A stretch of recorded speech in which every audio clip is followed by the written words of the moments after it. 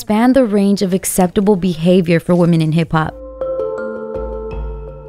Someone noticed something very strange about this video. This phrase triggered Google to start spying.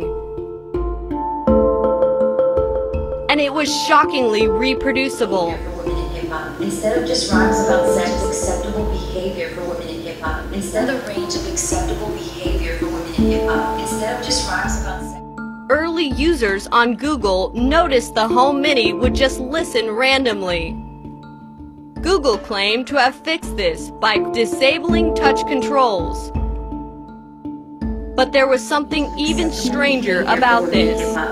It seems to detect your proximity, whether close or far away. Could this be reverse engineered? By capturing the audio in stereo depth,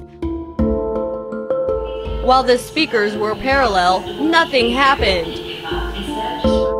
But the audio left and right, as if the speakers were headphones, the device activates again and again and again.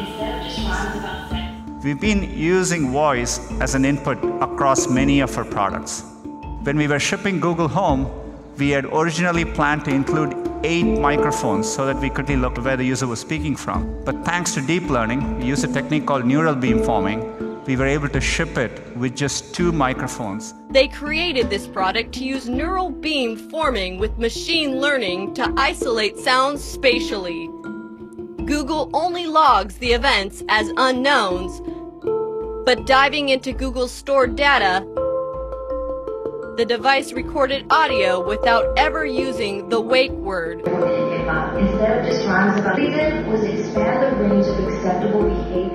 Recently leaked Google's alleged internal presentation of the selfish ledger, which envisions epigenetics and deep learning working together to predict and program human behavior. As an organization, Google would be responsible for offering suitable targets for a user's ledger.